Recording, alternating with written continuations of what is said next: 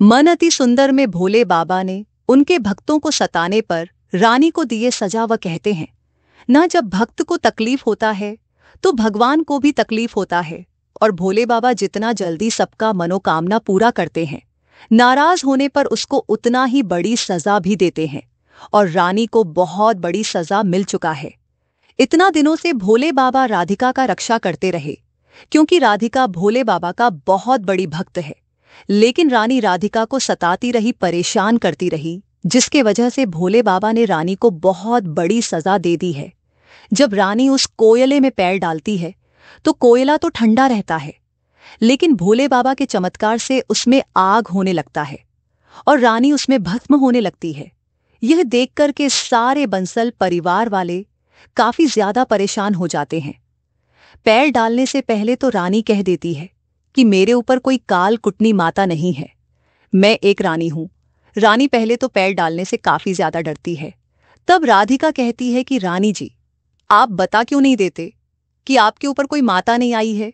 तब दादी रानी से कहती है कि, क्या रानी राधिका जो बोल रही है, वह सच बोल रही है? रानी कहती है कि हाँ मैं कोई माता नहीं हूँ, मैं एक रानी हूँ, फिर पूरे परिवार वाले। और बाबा कहते हैं कि तुम्हें उसमें पैर रखना ही पड़ेगा।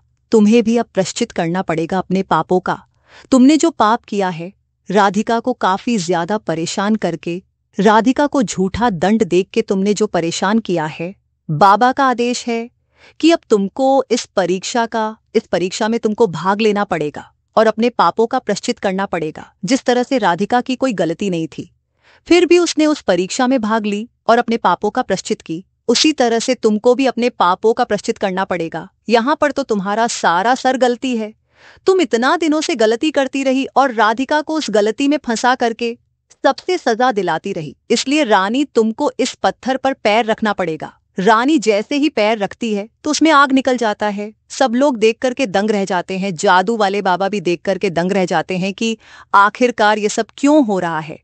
फिर सबको पता चलता है कि ये भोले बाबा का चमत्कार है। फिर राधिका हाथ जोड़ती है और भोले बाबा से कहती है कि, बाबा, मैं आपकी बहुत बड़ी भक्त हूँ। मैंने आज तक आपसे कुछ नहीं मांगा। आप रानी जी को जीवित कर दीजिए।